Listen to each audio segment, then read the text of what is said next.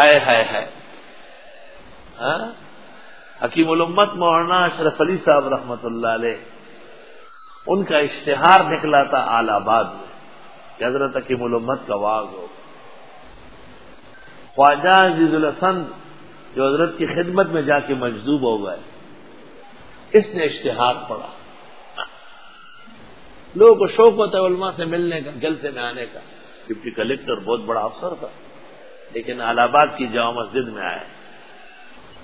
بتایا گیا کہ حضرت حکیم الامت پہنچ چکے ہیں۔ مسجد کے اندر ایک کمرے میں آرام فرماتے ہیں۔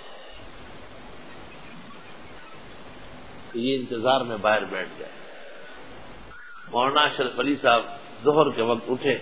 جب اذان ہو گئی تو حضرت مولانا اٹھے۔ اور اس حال میں چار تین ایک اوپر ایک نیچے گریبان کھلا ہوا پگڑی ہاتھ میں لے کے حضرت باہر آئے۔ وضو خانے میں بیٹھ گئے وضو کرنے تو خواجہ عزیز الحسن مجذوب مادرزاد شاعر تھے۔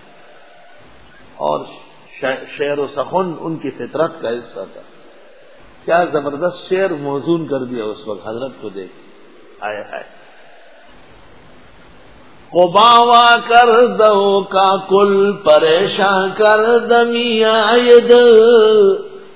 آبا کھلا ہے، گریبان کھلا پڑا ہے۔ قباوا کر دو کا کل پریشان کر دمیا ببی اے بے سرو ساما چاما کر دمی آئد کیا گریبان کھلا آستین ہے اوپر نیچے پگڑی کھلی ہوئی۔ اس بے سر و سامانی میں علم کی حیبت و جلال دیکھنے کا ہے۔ بے سر و سامانی پر شہر زیادہ ہے۔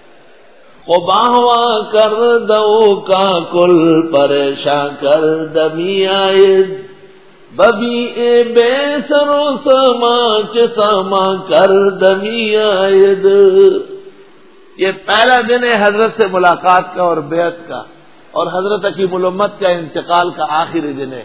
درمیان میں کوئی ناغا نہیں ہوا ہے، نہیں انتہا ہوا ایسے شہدائی تھی